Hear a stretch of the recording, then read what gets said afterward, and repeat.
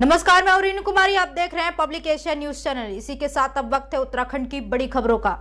पहली खबर की ओर चलते बता दें, उत्तराखंड की खनन नीति में एक बार फिर बदलाव किया जाएगा। बता दें, प्रदेश सरकार अब खनन नीति में बदलाव करने जा रही है। इस कड़ी में नीति में मशीनों से भी नदियों की सफ़ाई करने की व्यवस्था का प्रावधान किया जाएगा। कुछ समय पहले ही सरकार को नदियों में मशीनों से सफ़ाई की नैनीताल हाईकोर्ट ने सशक्त अनुमति दी है। इसके साथ ही नीति में खनन क्षेत्र को फिर से परिभाषित करने की भी तैयारी है।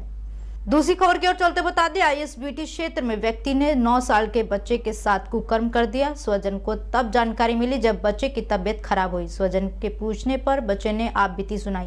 बता दें, पटेल नगर कोतवाली पुलिस ने आरोपित के खिलाफ मुकदमा दर्ज कर उसकी तलाश शुरू कर दी है। आरोपित आईएसबीटी क्षेत्र में साइकिल पंचर की दुकान चलाता है।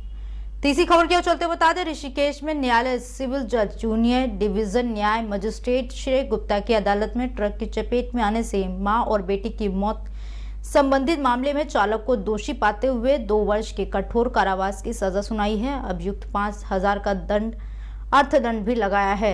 अर्थदंड न भुगतने पर पंद्रह दिन का अतिरिक्त कारावास भुगतना होगा।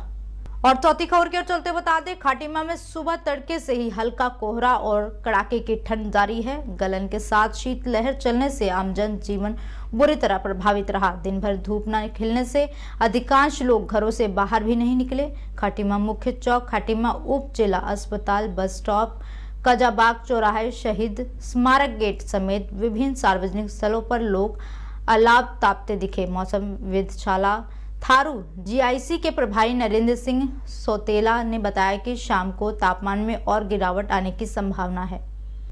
और आखिरी खबर की ओर चलते बता दें, हल्द्वानी में खोलते पानी में झुलस कर तीन वर्षीय बच्चे की मौत हो गई। पुलिस ने पोस्टमार्टम के बाद शव परिजनों को सौंप दिया।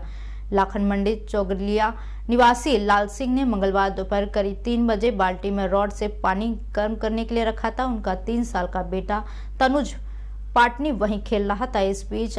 तनुज ने बाल्टी अपने ऊपर गिरा ली। गर्म पानी में झुलसकर तनुज गंभीर रूप से घायल हो गया। परिजन उसे बेस अस्पताल लेकर पहुँचे। प्राथमिक उपचार के बाद उसे सुशील तिवारी अस्पताल भेज दिया गया, जहाँ रास्ते में उसने दम तोड़ दिया।